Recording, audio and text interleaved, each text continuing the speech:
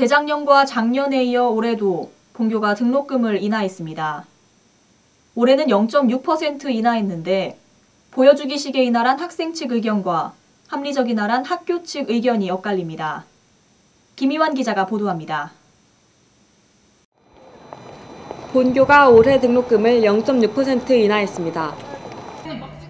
3년 연속으로 등록금을 인하했지만 이에 대한 학생 측과 학교 측의 입장이 엇갈리고 있습니다. 교내 곳곳에 붙은 대자보입니다. 일부 학생들이 등록금 인하가 보여주기식이라고 말합니다. 학생들의 등록금 부담을 덜어주기엔 그 금액이 적어 실질적인 효과는 없다는 의견입니다. 본교의 등록금 평균인 420만 원을 기준으로 할 때 0.6%를 인하하면 2만 5천 원이 줄어든 셈입니다. 어, 이번에 0.6%가 인하가 됐다고 하는데 그러면 학교에서 실질적으로 학생들한테 돌아가는 혜택이 무엇인지 고민을 하고 있는지가 좀 의구심이 듭니다. 본교가 등록금을 인하한 가장 큰 이유는 정부의 방침 때문입니다. 정부는 대학의 등록금 인하율에 따라 국가장학금을 차등 지원하고 있습니다.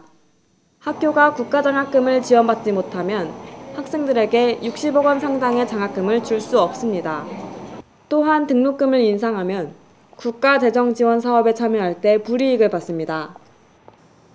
재무처는 등록금 인하로 인해 관리 운영 경비를 감축하거나 조정했으며 교내의 많은 부서들에게 협조와 이해를 구한 것이라고 밝혔습니다.